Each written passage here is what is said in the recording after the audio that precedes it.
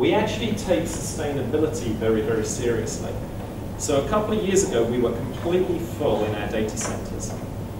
And um, you see a lot of companies talking about they've built a new green data center.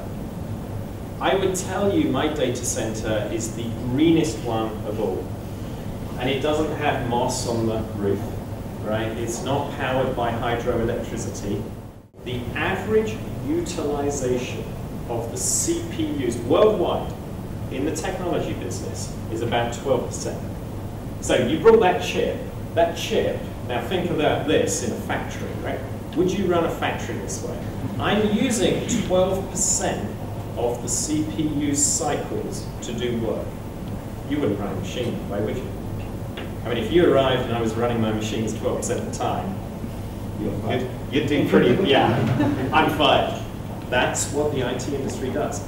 we have crossed 40, 44% utilization because we're pushing more work onto the same machine. Now you can only do that today because of the software enablement and because the machines are so cheap you can afford to do it and they're all exactly the same. You visit my data center, it's really boring. Row after row after row and it's all the same machine. But that's deliberate. So, my data center, I shrank it because I went from five servers to one. I doubled the usage of those servers at zero extra power. So you start thinking about green, which I think will be the topic of, it won't be the topic of the next decade, it will be the topic of the rest of my lifetime, and by the age in here, it will be the one of the fundamental things that differentiates companies going forwards.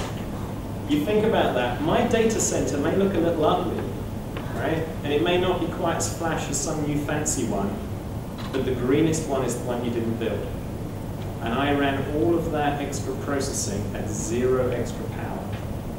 If you go and read an IT magazine about how do you become green, it will tell you to go buy equipment to move air around in the data center to make the data center cooler. So there's a whole industry that's built up around this. We didn't actually do anything. We utilized the machines more.